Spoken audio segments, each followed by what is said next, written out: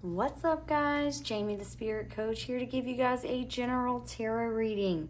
Please do take what resonates and leave the rest, guys. It may or may not be for you at this time. Feel free to check out your moon or rising sign. Um, there may be something there for you, or come back later and see if I've posted any new videos for your sign to find a message later on, right? So, um, this message is going to be for the sign of Capricorn. Welcome, guys. Thank you so much. My heart sees and recognizes you guys, and I appreciate all your support of the channel. Feel free to hit that like button, guys, or give me a follow if you haven't already, and click that notification bell so that you know the next time I upload a reading for you. So for today's message, guys, we're going to be talking to our spirit guides. This could be a passed on loved one, an ancestor, um, or just simply someone on the, in the spiritual realm, you know, on your team, helping you out on this journey. Um, this could even be an angel, right? So we're going to ask questions like, what is their sign that they give to you to let you know that they are nearby? What kind of experiences are you having when they show up, right? We're going to find out what lessons they are helping you learn, uh, what obstacles to look out for, what gifts you possess, right? We all have some type of gift or ability or intuitive ability of some sort. Um, but it's up to us to tap into that, right? And to use that ability to help both ourselves and the people in our journey. Um, we're going to find out what your next steps are, and we're going to find out a direct message from your spirit guide with some oracle cards. And to end the reading, we'll pull a message from our numerology deck because I do believe that our angels and our guides love to speak to us through numbers. So this will be a number that you can look out for over the next coming days or weeks over the course of this whole month, pretty much. Um, when you see this number, pay attention to the thoughts that you're having at that moment or what were you visualizing before it happened? Or what is happening in your experience when you see this number? Or what are you feeling right? Or what are your what does your body feel? So um, there could be hidden little messages in that for you. So pay attention be aware and know that that is your spirit guide showing up and supporting you in that moment. So we're going to jump in and pull some cards from the tarot let me just tilt this down so you guys can see what I'm seeing. So, for the sign of Capricorn, spirit guides, angels, loved ones, for the sign of Capricorn, what is your sign to let Capricorn know that you are nearby? We're going to find out. What is your sign, Spirit, to let Capricorn know that you are around? What sign do you give Capricorn? Can we get, wow. Oh, wow, we got three cards, guys. Let's see. Oh, four cards. Wow. Okay, so we got Four of Pentacles, Knight of Swords, Four of Swords reversed, and the Hanged man.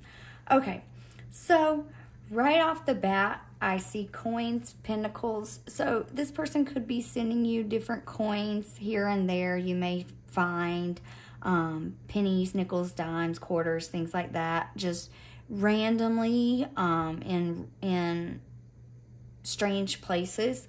Know that that is your spirit guide um, showing you that they are present and in your experience, they're asking you to um, kind of close your eyes in that moment and connect with them, right? I, the Four of Pentacles, it's the sense of hanging on, right? It could be holding on tightly. So this could be someone that you hold very close to your heart, someone that you hold really, really tightly. Um, you could be holding on to um, even their passing, right? Some some pain or um, grief from their passing. With the Knight of Swords coming out next, you could have felt like this happened suddenly, right? Unexpectedly, maybe even um, out of the blue, this person. I feel like they could have been a younger person. Um, I, I feel, I'm going to say between like the ages of, I'm hearing mid 20s and older. Um, it could be a little younger than that, even, but I'm seeing like a younger representation in all of these cards, a younger depiction. So um, it could have been a younger person. Um, maybe a sister or a best friend or a cousin, something like that. Um, I feel like this person uh, really, in the times that you've um, found yourself feeling kind of trapped, um, this person has really helped you come out of that, right? Helped you turn that mentality around. They could have been like a very optimistic person in their lifetime and offered new perspectives on things with the hanged man. The hanged man is like a pause energy. She's upside down, seeing something differently with a different viewpoint, right? Um, analyzing something, observing something. So um, I feel like they could send different symbols too there should there could be like a specific symbol that they send you even um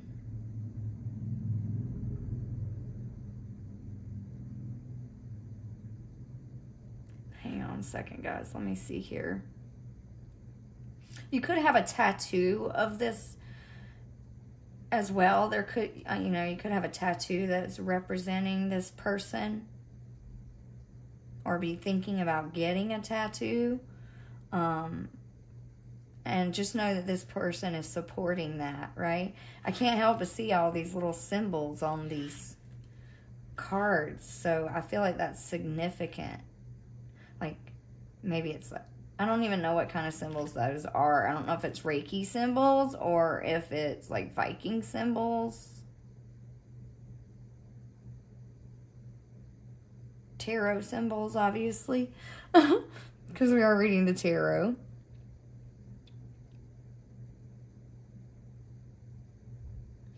I kind of want to look a little bit deeper into the Four of Swords in the reverse, okay? So hang on a second here.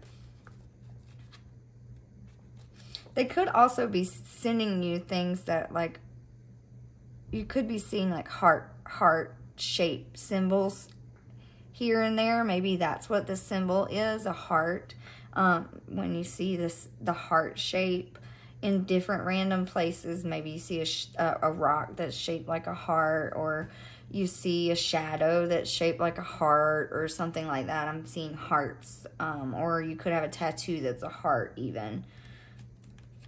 That is a memory for this person. Let's see. Four of swords reversed. Not recognizing not recognizing the dangers of burnout, a need to spend time recovering, dedicating your energy to self care.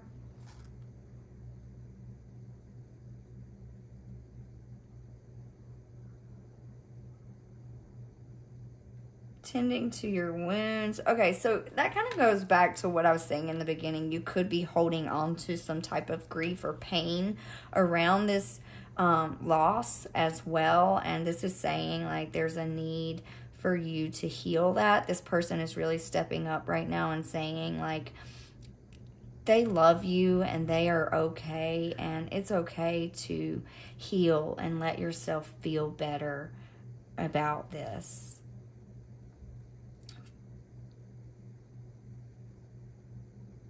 Take some time to rest. I feel like you maybe you could be pushing yourself a little too far, pushing yourself a little too hard um, in certain areas, um, or pushing yourself to like not really look at the pain that you're experiencing. Maybe give yourself permission to slow down. Give yourself permission to heal right now. Okay, so let's see. What are the lessons that you are helping Capricorn with at this time, Spirit? What are the lessons? What lessons are you helping Capricorn with, Spirit?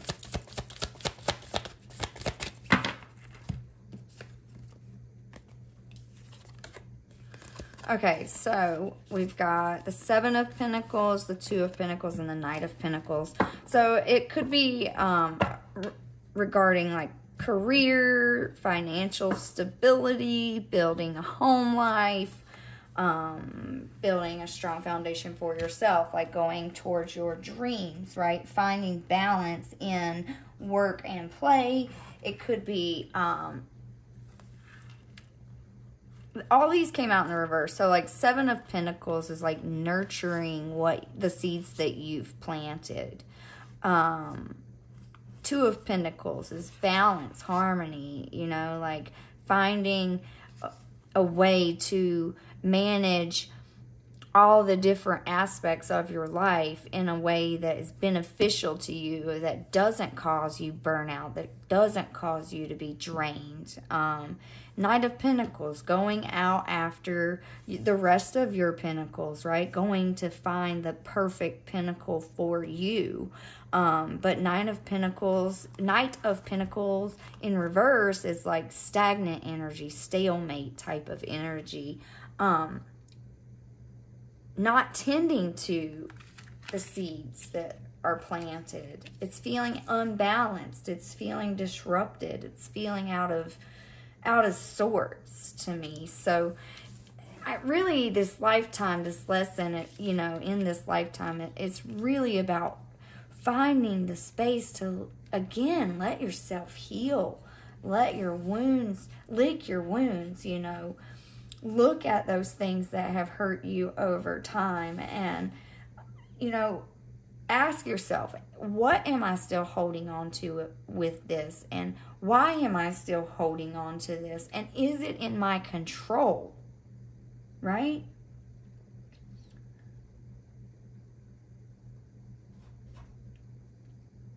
It's like maybe you are overdoing yourself. Maybe you are you're keeping yourself so busy that you haven't had time to look at this pain or this grief.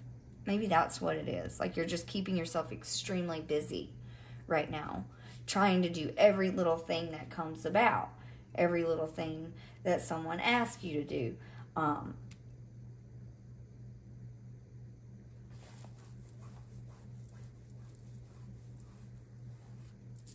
Seven of Pentacles in reverse is like frustrations, uh, impatience, giving up on your dreams, giving up on, like I said, not tending to those seeds that you've planted. Kind of being stuck, not going anywhere. Feeling like you can't move, maybe. Let's see. What is the obstacles? What is the obstacles that Capricorn needs to look out for? Anything else? Anything else in obstacles that Capricorn needs to be aware of? Okay, we got King of Pentacles and Justice. Both of these were upright. King of Pentacles is like, uh, to me, it is a, um, okay, it, it's a very wise individual, someone who's experienced, someone who has gained a lot of wisdom as far as financial stability is concerned, someone who set themselves up for success, to have a successful career, to have a successful retirement, to be able to live life luxuriously even, you know, um justice is like another card of balance to me. Uh, like knowing the difference between what's right and what's wrong for you, recognizing those things. Um,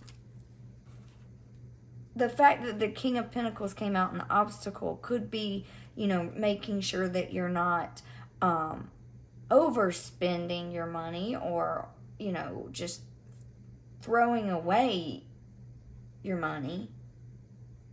I feel like justice is like I think of when I think of justice I court comes to mind, right? Like I think of the judge bringing down the hammer. Um, justice is like what's right for for all involved. What's right for you? What's right for the people connected to this with you? Um, right? Anything else for obstacles for Capricorn? I do feel this super stuck energy here.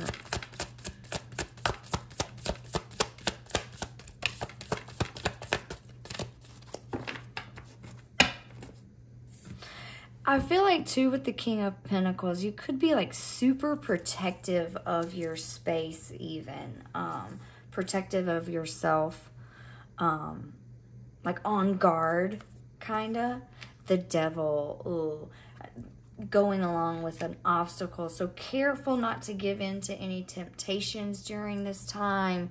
Anything that um, could again keep you stuck here feeling like you're just it's you can't move forward. What gifts does capricorn have spirit? That oh, we got the tower. The tower. Hang on let's see what else. We got another card in the deck that flipped but it went back in. Six of pentacles in the reverse you're okay. The tower. You are good at rebuilding after after things have come crumbling down. Maybe you are good in during a time of crisis. You're good at um, knowing how to respond and how to step away during that time of crisis and let the universe take control. But then I feel like you you may struggle at times with getting uh stuck there like like when you step away and say okay it's up to the universe now you're you kind of stop putting in your your part even you know like i feel like that's what that's saying. Let me look at the tower.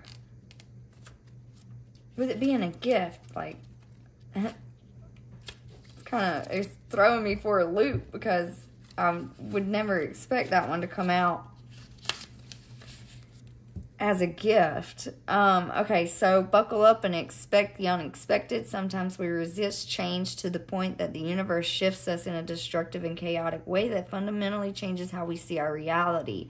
There's a strange beauty in this deconstruction, as all of the elements for a better life will be found amongst the rubble. Use this moment to rebuild something foundational, something extraordinary. Trust that you will be held by the universe and you'll become stronger and more resilient as a result. Tower moments are powerful. They're moving, they're shifting, expanding.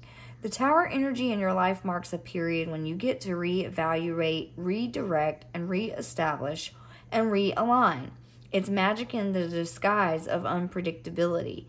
The brightest of lights will pierce through the pandemonium of change that you're experiencing, and you will find your beautiful truth and blazing potential in the dark darkness of the tower. In chaos, I move toward the brightest light. So that's what I was saying. Like you're very good at, you know, acting quickly in a time of chaos. Um, but with the Six of Pentacles, following that in the reverse, Six of Pentacles in the uprights, a card of balance. So it's like, again, I feel like you're, you, you, you know what to do when it's a time of crisis. But when there's no crisis, it's kind of like you're like, okay, what do I do now? What next? What now? Okay, Six of Pentacles in reverse is over giving, over, you know, like it could be holding on too tightly to what you have, choosing not to help, hoarding, being uncharitable, selfishness, your ulterior motives, inability to accept help. Um, so it's saying like show gratitude in your life. Have have compassion. Be generous with others. Don't cling on so tightly to whatever this is that you can't seem to let go of. Whatever this is, you can't seem to see a different a, a different viewpoint of, right? Um you're you're going to see at the end of this that you know you you are really good at at managing your life. You are really good about being organized. You are very you're grounded energy, right? You're the mountain climber. You can climb the the tallest of the tall mountains. You can get all the way up to the freaking top of the mountain. But it's like once you get up there, you don't know what to do with yourself. So, what are you going to do next? What's your next steps? What's the next steps for Capricorn? Spirit guide, what is your next step for Capricorn? Angels, loved ones for Capricorn. What is their next step? Can we get one card? Can we get one card? Okay, we got two cards. Nine of Swords Okay, Nine of Swords upright is like sleepless, restless nights, anxious energy, worries, fears, anxiety. Um, you know, Nine of Cups is like emotional release, freedom from that turmoil. I feel like you need to just cry a good cry. Cry something out. Page of Pentacles came out in the reverse. So it's like, maybe don't take action right now. Maybe it's a time for you to be still right now, Capricorn, because you've been taking so much action that you've burned yourself out. You've been so occupied with everything else that you've got going on that you haven't paid attention to yourself. And it's time to, to self nurture. It's time to listen to yourself. It's time to allow yourself a moment to release to feel good again, to reconnect with that you that space in you. Maybe you feel like there's there's nothing out there for you, but that's so not true. That's so not true. All right, so we're going to get a direct message from your spirit guide, from this passed on loved one, this spirit, this angel whoever this is for you, Capricorn. What message do you have directly for Capricorn Spirit? What does Capricorn need to hear right now from you directly? Can we get one message, one card directly from you, Spirit, for Capricorn? Okay. Leaping in love. Okay, so this could be, you know, this whole reading could be about romance, like not giving yourself a chance on romance, but it could be about loving yourself too. The number seven is standing out here, and this is a spiritual number, right? So you are going through some spiritual changes, some awakenings, right? Let's read from the book for you. Romeo and Juliet, Bogie and Bacall. They've got nothing on you. It's romance time. Whether it's a new partner or falling more deeply in love with your own rock star life, rock star life, become besotted with your dream. Act as if it has already happened. Everything, as they say, is coming up roses, only this time without thorns. So, yeah, keep in mind, Capricorn, that our thoughts create our reality, right? And when we get stuck on things, then we create more things to be stuck on, right? So pay attention to your thoughts during this time. Finally, we're going to pull one more message. This is going to be from our numerology deck for you, Capricorn. Keep an eye out for this number. You may see it on receipts or the time on the clock or on license plates or something along those lines. But when you see this number, pay attention. Be aware. What are you thinking about? What are you feeling? What is your spirit guide trying to tell you? All right. So, what is the number that Capricorn should look out for? That one came out really quickly. So, let's see here. The number six, love. Another card about love. So, uh, yeah, really, really, really take some time, Capricorn. Love yourself and let your little heart heal so that whenever you do, if this is a new love coming in for you, a new romance, you have the energy to put towards this new experience. Right? Because if you're burnt out from giving and giving and giving and doing and doing and doing and you're an empty vessel, how can you give to anyone else? You need to get back to yourself a little bit. All right, so the number six. This card indicates a need to see the world through the eyes of love and to remember at all times that only love is real. When you look beyond the illusion to see the beauty in the world, you align yourself with Source and the intentions of your soul because you attract what you are. When you see through the eyes of love, that's what will, surround you in all areas of your life. Sorry, guys, my little doggy's being vocal. I think that's her confirmation, too. Like, you attract what you are, you attract what you believe. So, if you make everything about love, bring the energy of love to every experience, then you're going to manifest more love to come into you. So, this card is also indicating a need to go within to recognize and address any limiting thoughts and beliefs that are holding you back from experiencing love. This is a time when you must ask yourself Am I truly open to giving and receiving love? Do I truly believe I am worthy of love? And do I really believe that love exists for me?